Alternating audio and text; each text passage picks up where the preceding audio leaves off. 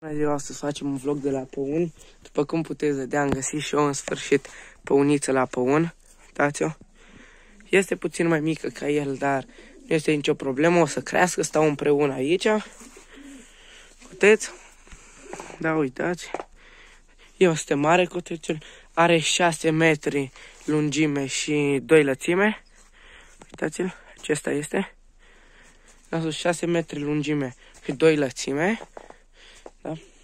Da? Aici au și apă. Văd că au murdărit-o și au băgat și concentrate. Bine, aici pun concentrate la păuniță pentru că ea este mică și trebuie să mănânce concentrate. Dar mâncă și păunul, nu este nicio problemă. Trebuie să le mai pun, nu mai au.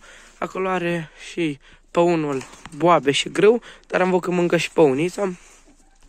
Le mai dau iarbă verde, um, ăștia, pâine le mai dau Aici le-am făcut um, ca un fel de stinghi așa, ca să poate ei să doarmă noaptea. Și chiar doar pe ea am văzut. Aici două roți. Și aici le-am pus niște pietriși ca să aibă și de unde ciuculi piatră și toate astea. Pentru că ei nu ies afară. Da?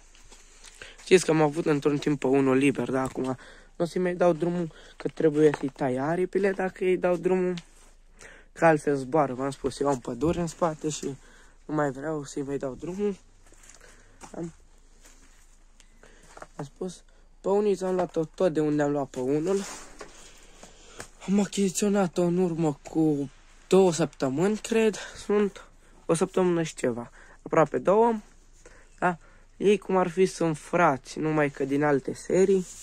El face 2 ani acum în iunie și ea face un an în februarie, anul viitor. Da, uitați-o.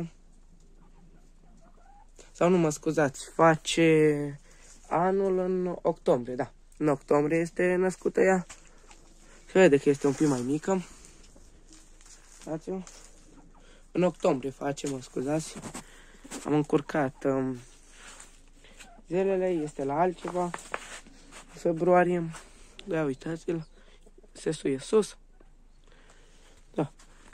Cam atât a fost cu acest vlog. La păuni. Nu uitați de like. Să vă abonați la canal. La revedere!